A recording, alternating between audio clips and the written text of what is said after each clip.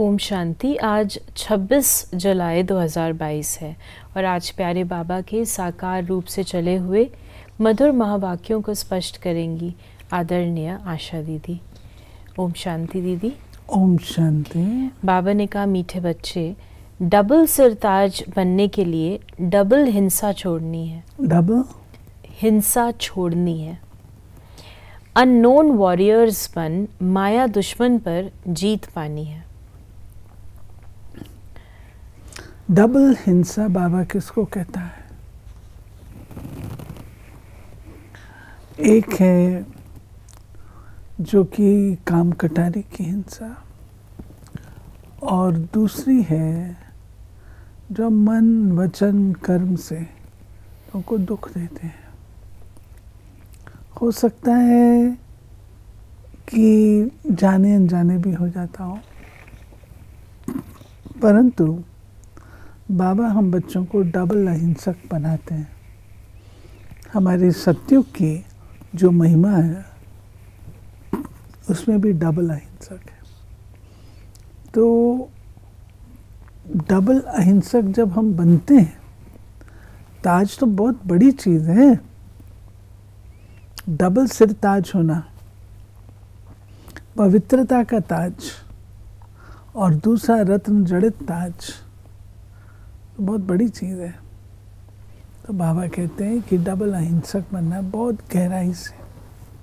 तब वो डबल ताज के अधिकारी होंगे। प्रश्न है छोटा मुख और बड़ी बात। ये कहावत किसके लिए और क्यों प्रसिद्ध है? ये कहावत परमात्मा के लिए है। कैसे वो साधारण तन में बैठ इस छोटे मुख से तुम्हें बड़ी बड़ी बातें सुनाते हैं? हम्म। गरीब नवाज़ बाप तुम्हें गरीब से साहूकार बना देते हैं। तुम बच्चे भी कहते हो, हम ज़बरदस्त वॉरियर्स हैं। हम रावण पर जीत पाकर सारे विश्व पर स्वर्ग की स्थापना कर रहे हैं। तो ये भी जैसे छोटा मुख बड़ी बात हुई। मनुष्य इन बातों को सुनकर हँसते हैं। समझ नहीं सकते, तुम्हारी जैसी बातें करना किसको आएगा भी नहीं। hmm. बाबा कहते हैं, छोटा मुँह, बड़ी बात। लोग कहते हैं, ये ब्रह्मा कुमारियाँ ये क्या ज्ञान सुन कौन सा ज्ञान सुना रही हैं?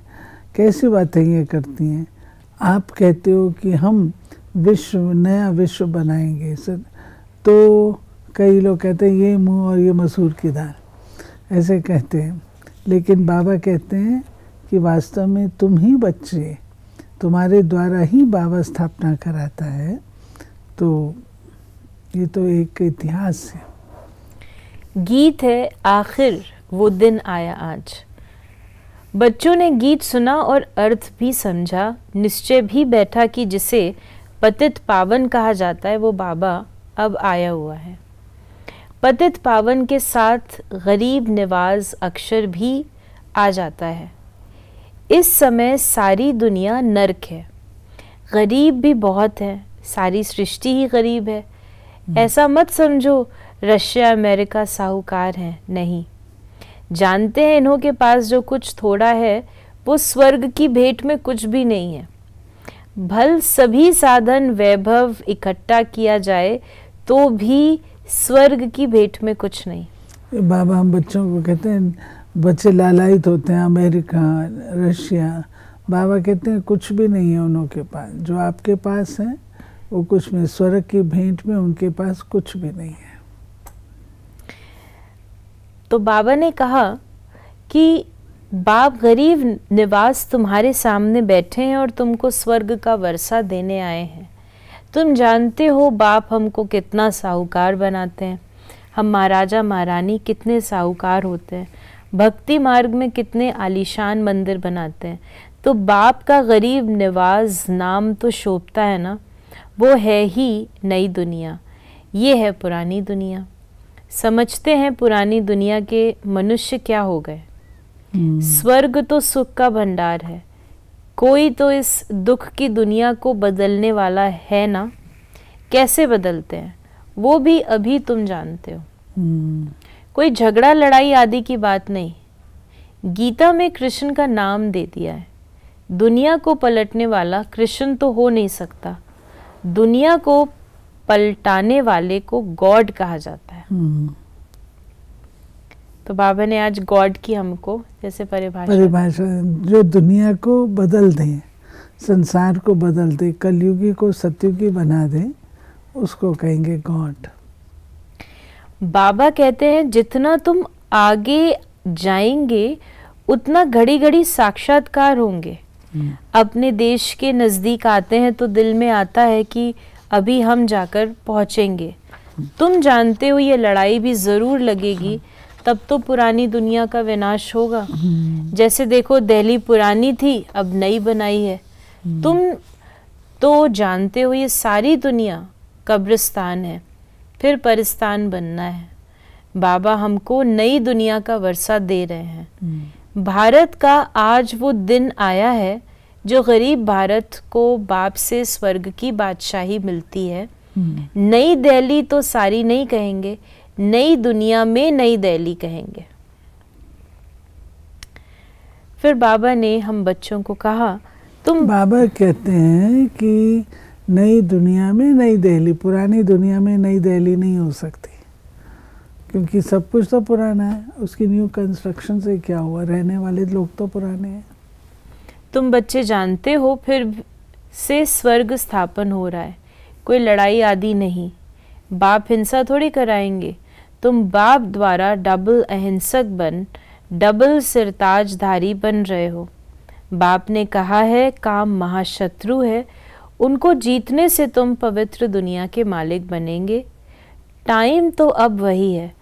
सर्कमस्टांस भी देखते जा रहे हैं। ये भारत की लड़ाई भी पाँच हज़ार वर्ष पहले लगी थी। अब फिर किसकी विजय हुई? यादव कौरव खलास हुए, फिर रिज़ल्ट क्या हुई? कुछ दिखाते नहीं है। तुम्हारी बुद्धि में नक्शल में सारा राज है। पहले पहले तुम बहुत साहूकार थे, अब तो बहुत गरीब हो। अभी तो मनुष्य भी बहुत बढ़ गए हैं। आखिरीन ये समझते हो ना और बोलते भी हैं सर्कमस्टांस ऐसे ऐसे हैं। तुम ये भी जानते हो, हम श्रीमत पर चल श्रेष्ठ ते श्रेष्ठ राजधानी स्थापन कर रहे हैं। कल्प पहले मुआफिक। वो नशा चढ़ना चाहिए ना। गुप्त अननोन वॉरियर्स कहते हैं ना, तुम वास्तव में सच्चे अननोन हो परंतु वेरी वेल नोन इसको भी आप थोड़ा स्पष्ट करें। बाबा कहते हैं कि तुम लोग सच्चे वॉरियर्स हो, क्योंकि तुम माया से युद्ध करके संसार से उसकी पूरी सफ़ाई कर देते हो। तुम्हारी युद्ध जो है वो इन पाँच विकारों के साथ है, लेकिन तुम गुप्त रूप से करते हो। तुम्हें कोई जानते नहीं है but you are very well known क्योंकि शिव शक्ति, पांडव सेना प्रसिद्ध है, पतित पावनी, ज्ञान गंगाएँ प्रसिद्ध हैं। तो ये बाबा कहते हैं कि एक तरफ़ है, तुम बिल्कुल भी गुप्त, तुम बिल्कुल गुप्त हो दूसरी तरफ़ you are very well known तुमको सारा संसार जानता है। सारे विश्व को पलटाते हैं, उनकी रिजुविनेट कर काया कल पत्रु भी करते हैं, तुम्हारी काया कैसे फ़र्स्ट क्लास बन जाती है? तुम समझते हो बरोबर सत्युग में हमारी आयु बड़ी थी। एक शरीर छोड़ दूसरा लेते थे। यहाँ देखो तो क्या हाल हो गया है। मौत से डरते रहते हैं। तुम बच्चों को साक्षात्कार भी कराया है। तुम जंगल में जाते हो, कोई तुम्हारे सामने आते हैं तो उनको साक्षात्कार हो जाता है। ये तो देवी है, झट भाग जाते हैं। बाबा बच्चों की कितनी संभाल करते हैं, इसलिए तुम्हारा नाम शक्तियाँ रखा है। तुमसे और सब मनुष्य डरेंगे। काली से कितना डरते हैं? याद है, बचपन में वो आती थी, कोई बंद करके काली माता। तो बच्चे उसको देख करके अंदर घुस जाते थे अपने मकानों में। उसको देखा और वो मकानों में घुस आए डर लगता था, क्योंकि उसका भयानक रूप है। तो शिव बाबा कहता है ऐसा भयानक रूप थोड़ी होता है देवियों का। लेकिन उन्होंने जो कार्य किया है उसको उन्होंने डिपिक्ट उसमें किया है। यानी विकराल रूप से असुरों का नाश। कोई चोर आ, सामने आता है तो काली का रूप देखकर भाग जाता है। कितनी संभाल रक्षा भी करते हैं। किससे? रावण से। तुमको युक्तियाँ बतलाते रहते हैं, बाप को याद करते रहेंगे तो माया पास आने का नाम भी नहीं लेगी, इसलिए बाप समझाते हैं, अपने पास चार ज़रूर रखो। तुम्हारी भी रेस है। रेस भी जब होती है तो उन्हों की रेख देख करने वाले भी होते हैं। कहाँ कोई गड़बड़ तो नहीं करते? हैं तुमको तो श्रीमत पर चलना है, इसलिए बाप कहते हैं, मुझे याद करो। माया बहुत विकल्प लाएगी। समझेंगे आगे तो कभी ऐसे ख्याल आते भी नहीं थे। हम्म, फिर बाबा ने आज हम बच्चों को कहा कि ऐसा कोई मनुष्य होगा जिसको अपने चौरासी जन्मों का पता हो अभी तुम्हें कितनी ऊंच शिक्षा मिलती है। बताने वाला है ही एक बाप उनके कितने मंदिर बनते हैं। तुम कहेंगे हमने राज्य किया था हमारे कितने मंदिर बने हुए हैं। सारा दिन इन बातों में रमण करते हर्षित रहना चाहिए। आज बाबा ने वरदान दिया परमात्म प्यार की शक्ति से असंभव को संभव करने वाले पद्मा पदम भाग्यवान भव। पद्मा पदम भाग्यवान बच्चे सदा परमात्म प्यार में लवलीन रहते हैं। परमात्म प्यार की शक्ति किसी भी परिस्थिति को श्रेष्ठ स्थिति में बदल देती है। असंभव कार्य भी संभव हो जाते हैं, मुश्किल सहज हो जाते हैं, क्योंकि बाप दादा का वायदा है कि हर समस्या को पार करने में प्रीत की रीत निभाते रहेंगे। लेकिन कभी कभी प्रीत करने वाले नहीं बनना, सदा प्रीत निभाने वाले बनना। और आज का। बाबा कहते हैं कभी कभी प्रीत जब मूड अच्छा हुआ कोई अच्छी बात लगी कुछ प्राप्त हुई तब तो बाबा को बहुत याद है। और अदरवाइज़ uh, बाबा को भूल जाए। बाबा कहते हैं नहीं प्रीत निभाना। यानी कोई भी सरकमस्टेंस हो परिस्थिति हो कैसी भी परीक्षा आए कुछ भी हो वो प्रीत टूटे नहीं। स्लोगन है अपने श्रेष्ठ कर्म व श्रेष्ठ चलन द्वारा दुआएँ जमा कर लो। तो पहाड़ जैसी बात भी रुई के समान अनुभव होगी। तो ये थे बाबा के आज के मधुर महावाक्यों का स्पष्टीकरण। यदि आपके मन में कोई सवाल है तो आप उसे मैसेज या व्हाट्सएप करें double eight two six five double nine three zero nine पर। ओम शांति।